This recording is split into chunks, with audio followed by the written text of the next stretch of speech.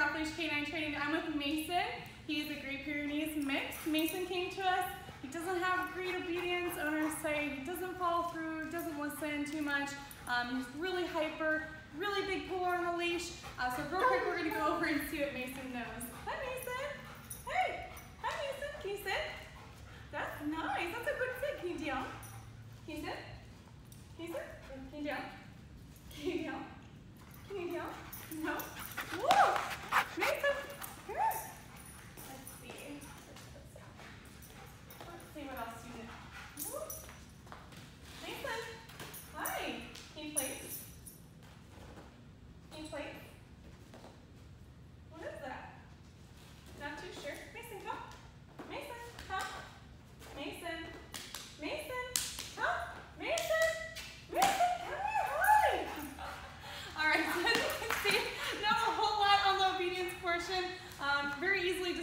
Not a lot of stability. Stay tuned. I look forward to showing you his progress in just 14 short days.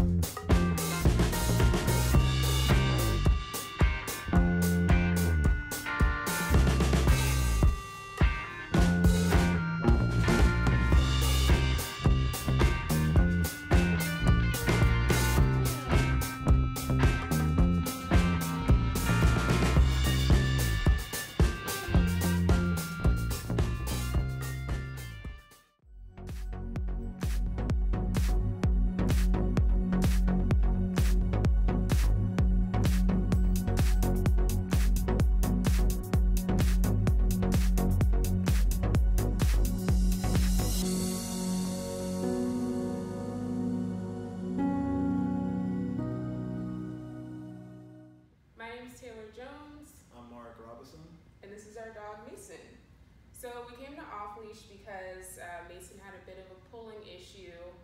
Um, he didn't sit and stay when we asked him to. He would jump on people when they'd come in the door. So um, we brought him here. He's been here for about two weeks, and all those issues are gone. He walks without a leash, which is amazing. Um, he's not eating things off the ground. he's not jumping. So he's just obviously doing a really good job. So, yay, go off leash. Thank you.